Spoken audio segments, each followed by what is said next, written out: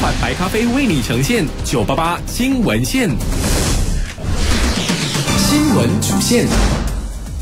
国内掀起蹲马热潮，他用过的笔、穿的拖鞋，还有肖像壁画，全部都爆红。GST 下个月开始零税率，国行就说预料消费品和服务的价格将会降低。深夜搜纳吉的家，敦马就说警方是按照程序，努努就强烈反对。敦马将兼任教育部长，旺姐则兼任妇女部长，苏克里就接任反贪会的一哥。那上个星期四呢，就是一个星期前的这一天啦，敦马他就宣誓成为了我国第七任首相。一个星期之后的今天呢，他又在宣布有一个新的职位了，就是兼任教育部长。敦马呢今天召开记者会，上面公布了内阁的最新名单，不过呢，并不是完整的这个内容哦，只是公布了两个。第一个呢就是他兼任教育部长，第二个呢就是副首相旺阿兹莎是兼任妇女事务部长。他就说呢，如果来得及的话，可能明天就可以宣布完整的内阁名单。他也预计啊，一共是会有十三名的内阁部长。除了说他本人已经宣誓之外呢，其他的都会在下个星期一宣誓。OK，另外呢，马哈迪今天也有好多的宣布，其中这个宣布呢，就是目前空缺的反贪会首席专员职位了。他就说将会由前任的反贪会副主席苏克里来填补的，就不是早前传言的反贪会前首席专员啊、阿布卡辛啦。那谈到为什么会选择苏克里作为新任的反贪会一哥呢？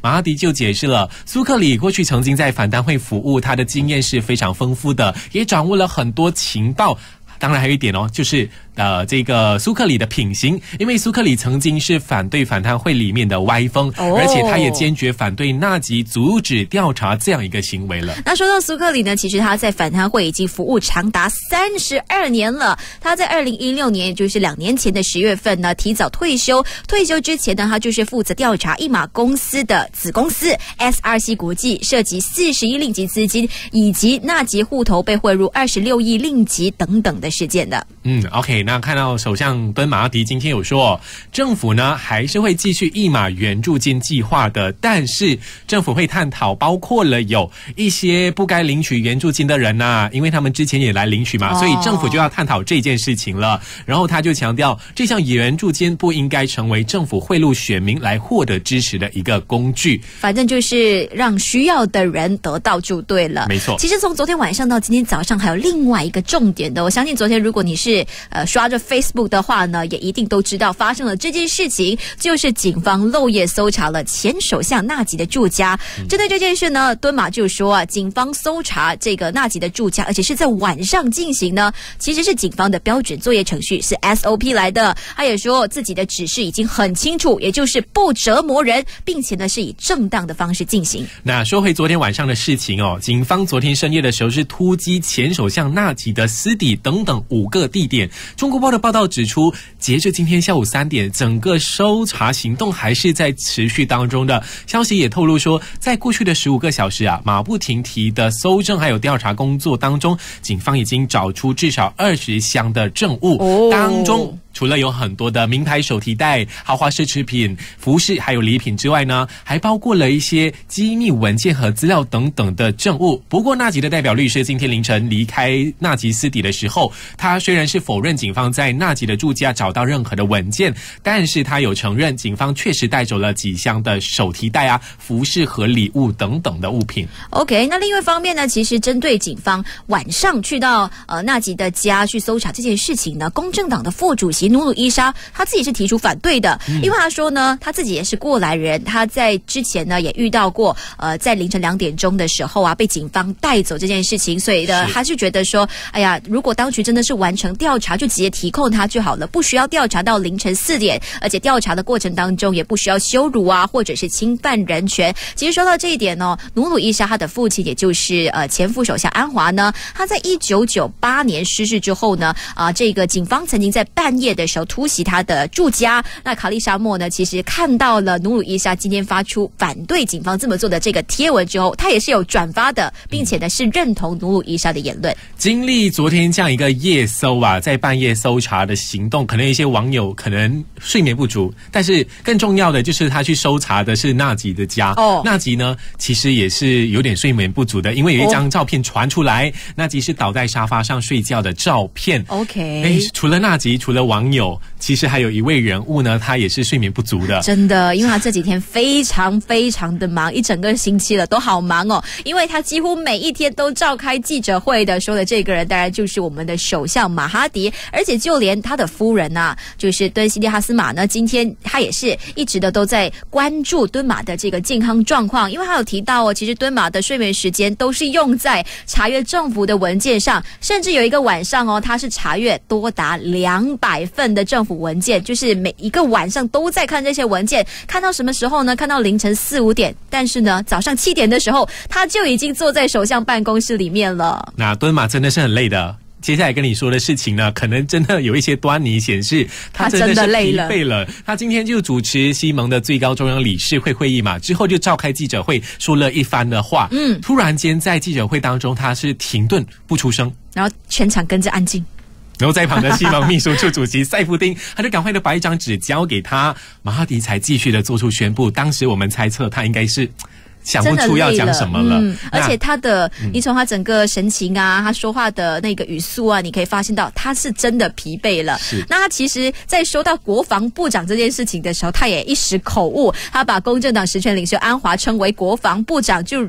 把现场的这些领袖呢都逗笑笑了了，然后大家都纠正他说啊，其实他不是这样子。那其实之前呢，在回应自己的夫人关心他的健康的时候呢，马哈迪也就承认说，他最近确实是睡眠不足，不过呢，他是不会抱怨的。不只是蹲嘛，我相信每个人呢都应该要好好照顾健康啊，多休息哈。嗯但是有一些事情呢，可能会让商家和一些呃消费者特别头痛，是不是？对，因为政府昨天就宣布，六月一号开始呢，消费税 GST 会降到零税率，就是没有税率啊。那首相敦马阿迪今天就说，国人是不需要担心落实消费税零税率之后可能会面对信用评级被调降的问题。他今天有说，我国将会通过更高的国际油价以及更低的政府开支来获利。他今天就在记者会上也提到，二零一八年的财政预算案呢，其实是根据油价每桶五十二美元来制定，但是现在每桶已经是去到七十二美元了，我国就可以从当中获利，因为毕竟我国是一个出产石油的国家嘛。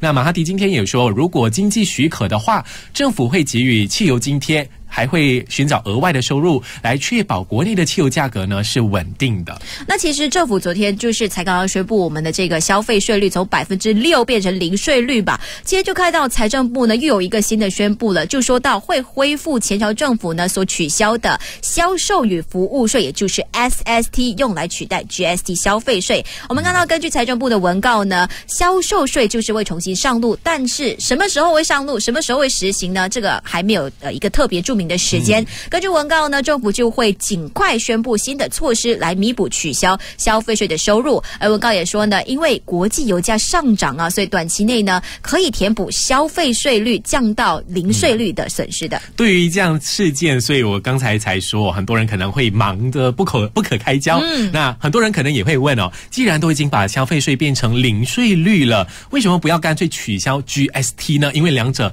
可能是有差别的，差别在哪里呢？我们来听听亚企理财中心税务与财务咨询总监蔡兆元来为我们分析。新闻连线，基本上这个 GST 的制度还是存在的。为什么它还是需要存在？其中一个原因就是还有很多商家，他之前在购买他的原料或者是物品的时候呢，他已经付了这个所谓的 G S D，就是他们简称的这个进项税，他还是可以跟政府申索回来 claim as refund。这个零八年的这个税率呢，将会继续持续到一般相信就是新的 SSD，就是 Sales and Service Tax 推行了之后呢，这个 GSD 呢才会被废除。因为今天我们又看到政府有另外一个宣布，就是说未来就会真的会用 SST 来取代 GST，那之间又有什么差别呢？现有的这个 GST 的制度呢，它是一个多层次的税务制度，在整个供应链里面，从一个制造商他买原料，他需要还 GST input tax，那么当他卖的时候，他就 charge GST 所谓的 output tax。当然，如果用回刚才的例子呢，制造商卖给任何一个人是需要 charge sales tax。比如讲说，这个批发商他买了之后，他卖给零售商的时候呢，他就不需要再 charge 这个 sales tax 了，所以它是一个所谓的单层次的税务制度。sales tax 是针对这个制造商，那么制造商的利润是多少，也是一个关键。他们怎么样把这个成本转嫁给消费者？那么在同个时候呢，在这个西门的竞选全年里面呢，新政府会提供一些所谓的奖业给这些基本的用品的制造商，来降低成本。谢谢大家都蔡兆元哦。那其实讲真的，总结来说，就是上流的领域是非常重要的，就是那些出产线啊。如果你商家制定想要更多利润的话，可能我们这些消费者就要花更多的钱去买喽。反正今天的这个访谈呢，也可以希望让大家更加的呃清楚为什么政府会把它设为零利率，而不是直接取消到呃取消掉这个消费税，因为两者之间真的是不一样的。现在不。好了，今天的现在问呢，我们要看回去的这个就是敦马的宣布，因为他今天在记者会上就宣布自己会兼任教育部长。那来问问大家，你最期待他先落实呃西蒙的哪一个宣言呢？当然是有关教育的部分的。没错，选择赖的话就认为是承认统考文凭这件事。那第二个选项 Love 呢，就说到是废除 PTPTN 的黑名单。第三个选项是哈哈，就是减轻教师行政工作。哪一个会是你的选项呢？现在可以上到我们的输。九八八的 MY 那边去投选哦。